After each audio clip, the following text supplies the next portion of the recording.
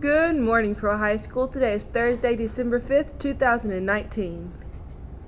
Students, Pearl High School has recently subscribed to the Junior Library Guild bookshelf.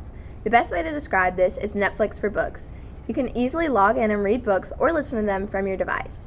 Please stop by the library and see Miss Burns for the username and password. Happy reading! Archery trials will be held Monday, December 9th at 3:30 after school in the indoor facility. If you are a senior and would like to apply for the PHS Hall of Fame, you must have a minimum of a 3.0 GPA, an extensive resume with numerous community service hours, strong academic coursework, and heavily involved in school activities. You must sign up on the clipboard in Mr. Chisholm's office by December 19th at 3 p.m. All approved candidates will be notified in writing to attend the application session held in the library Wednesday, January 8th from 11:30 to 3.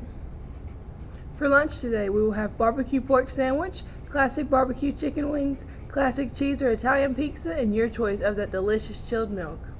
And remember, every day is a great day to be a pirate.